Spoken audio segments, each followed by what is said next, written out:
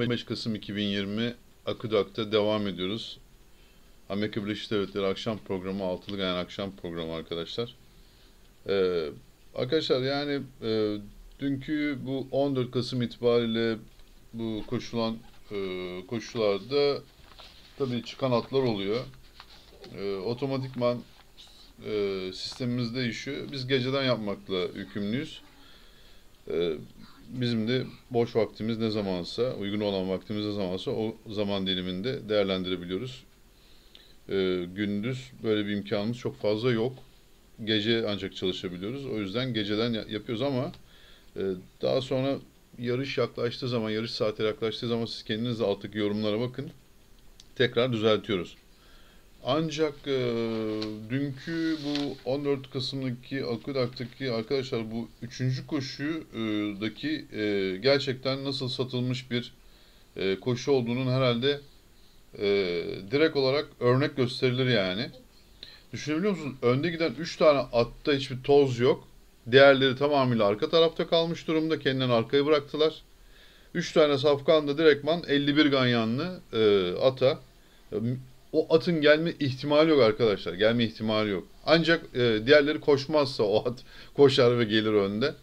E, ve nitekim o iki tane safkanın kontrolünde, yanlarındaki iki tane safkanın kontrolünde e, ayarlanmış bir şekilde tabii ki e, ikilisi ve üçlüsü onlarda da var Amerika'da da. Gayet güzel bir şikeyi izledik böyle yani ekranlarda. E, muazzam bir şikeydi gerçekten. Ama çok belirgindi. O ayrı mevzu. Evet biz e, günümüze dönelim. Normal şartlar altında bugün de e, ben böyle bir e, dolambaçlı senaryolar bekliyorum açıkça söylemek gerekirse. Epeydir normal gidiyor. E, hiç e, memnun değillerdi belli. Evet bugünün Akıdak altılı programı ikinci koşuyla başlıyor. Evet ikinci koşu Kumpis Maiden dişi iki yaşlı İngilizler 1200 metre arkadaşlar. E, baktığımız zaman Burada toplamda 9 tane safkan e, koşuyor. Bu 9 tane safkan e, içe 80 bin dolar ikramiye var. 80 bin dolarlık e, bir ikramiye dağıtılacak. İlk atımız 6 numaralı Hit the Wo. Joel Rosario ile çok başarılı bir jockey arkadaşlar. Joel Rosario. E, o, Yalnız şöyle bir durum var bu atla ilgili. Şu an bakın e, notu okuyorum. 13 Kasım'da koşmuş ve kazanmış. Demek ki koşmaz bu. Herhalde bu kendini meydana yazdırdı bu şekilde. E, koşmaz bu arkadaşlar. Evet 6 numara koşmaz diye düşünüyorum. Çünkü kazanmış arkadaşlar 13 Kasım'da. Çıktı bugün ayın 15'i. Evet e, onu pas geçeceğiz o zaman. Bir numaralı Command Control Javier Castellano ile 8 Kasım'da 800 metreyi 49.66 yapmış. 26 Ekim'de 800'ü 48.88 yapmış. Ee, Javier Castellano ile e, çok şanslı bir numara. Çok güzel çalışmaları var. 9 numara Soapster Irat Ortiz ile 8 Kasım'da 800 metreyi 48.84 yapmış. Kesinlikle yazılması lazım. 8 numaralı Lutes Kut in Boogie John Velasquez'le ve 4 numaralı Harper's in Charge Manuel Franco ile e, bizim ilk e, kuponumuz oluşuyor. Bu 6 numara muhtemelen koşmayacak arkadaşlar. Yani e, şu anda bakıyorum 13 Kasım'da koşmuş ve kazanmış gözüküyor. 4 tane atımız olacak yani burada 1, 9, 8 ve 4. Evet şimdi ikinci koşudan üçüncü koşuya geçelim.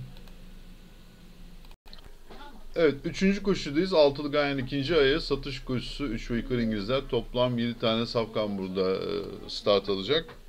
Bu 7 safkan içerisinde 6 numara Flowers for Lisa, e, Irat Ortiz'in bindiği normal şartlar altında arkadaşlar 12 Ekim'de Belmont'ta ikinciliğinden sonra 8 Kasım'da e, bir 49-43'lük 800 metre bir çalışma yapmış.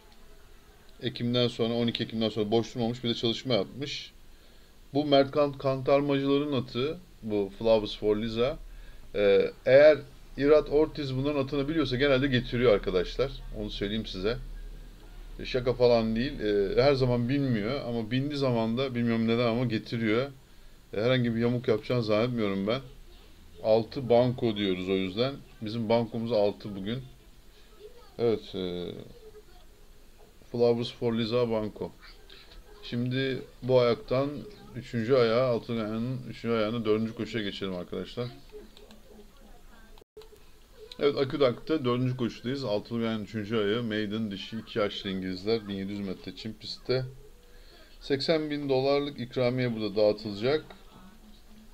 Ee, burada maiden koşuda kaç kişi katılıyor bakalım. 15 tane safkan katılıyor buraya. Bu 15 tane safkan içerisinde bir tane ekürler var. Ekür grubu var. Arkadaşlar ilk atımız burada Candence O. Joel Rosario ile çok formda e, bu jockey. 1 Kasım'da 848.60 yapmış ve 7 Kasım'da tekrar bir çalışma yapmış. 1000 metreyi 1.01.80 ile e, güzel çalışmalarla e, tamamlamış. Diğer atımız 9 numaralı Union Dues Included.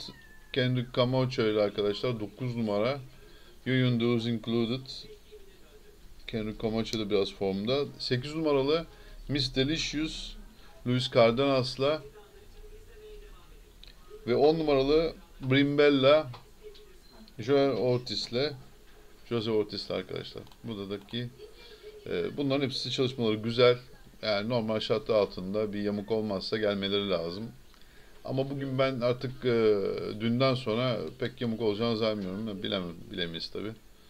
7, 9, 8 yani 7, 8, 9, 10 e, kapalı orası arkadaşlar. 4 at. Evet 5. koşu ya geçelim şimdi 4. aya.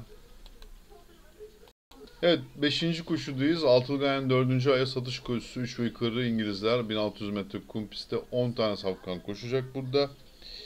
Arkadaşlar burada burası karışık bir ayak ama burada bulacağız biz arkadaşlar. Güzel bir e, size ganyan hediye edeceğiz burada. 4 tane at veriyoruz.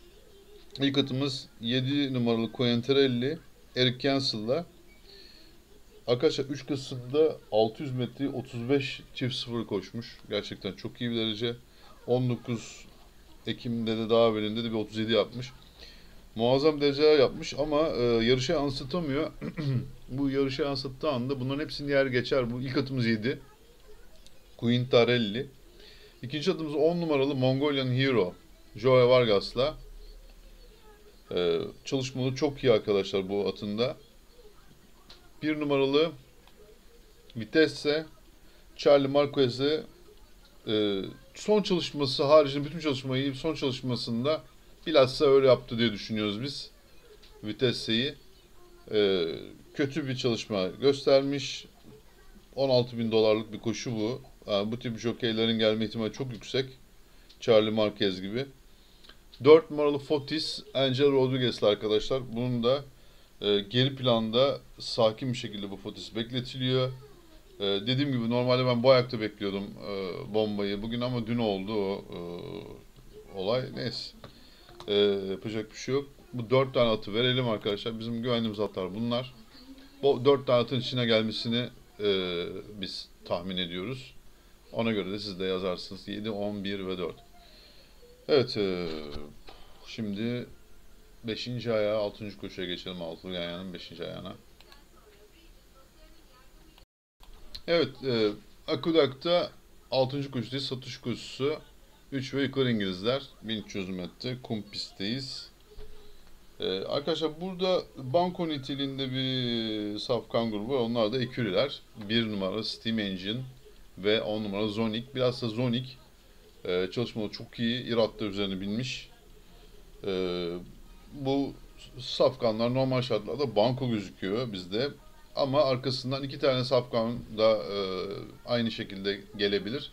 Zannetmiyoruz bırakacaklarını ama gene de biz e, bildirelim bunun kim olduğunu. 9 numaralı Tower of Union John Velasquez'le ve 4 numaralı Runaway Lute Manuel Franco ile arkadaşlar.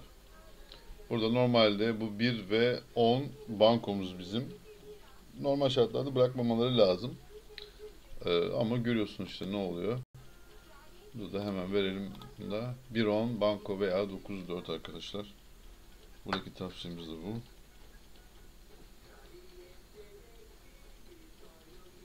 Evet şimdi 7. koşuya altılı gayanın son ayağına geçelim.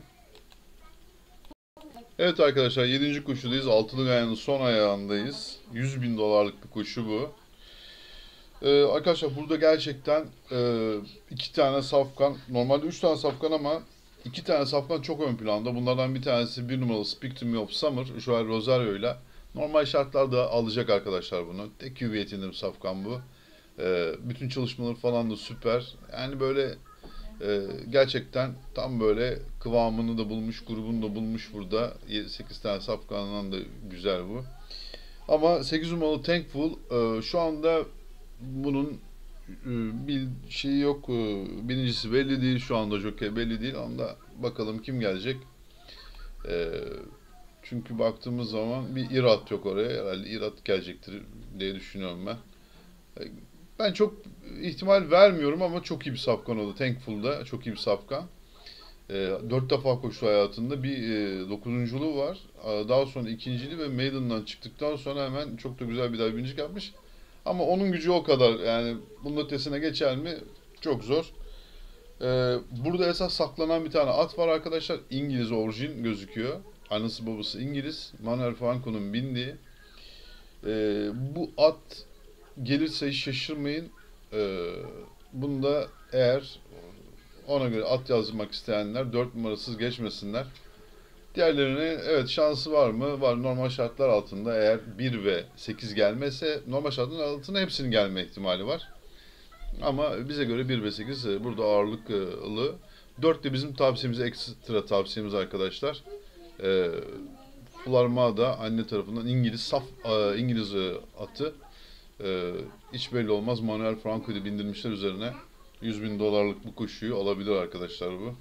Chad Brown, e, özür dilerim Christopher Clement e, antrenörlüğünde.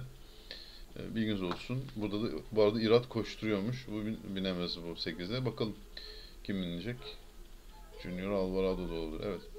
Arkadaşlar e, Akıl Akış'ın e, görüşlerimiz burada sona eriyor. Bugünlük hafta sonu zayıf biliyorsunuz. Hep akşamları koyuyorlar böyle. Bir de Akıl Akış şu anda gidiyor bu- bugünlerde. Dediğim gibi yorumların altına bakın 1-2 saat evvelden. Çıkan hatlardan sonra tabii ki toparlıyoruz tekrar. Ee, tabii ki büyük bir e, böyle e, düzmece koşu olduğu zaman e, büyük bir hayal kırıklığına oluyor. Çünkü biz düzgün iş yapmaya çalışıyoruz ama e, resmen e, bu şekilde satış koşuları olduğu zaman satış yani belli yani. Kimi zengin ettiler artık belli değil. Olan tabii ki yarış severleri oluyor. Hayırlısını dilerim Allah'tan. Her şey gönlünüze göre olsun. İyi haftalar diliyorum. Görüşmek üzere.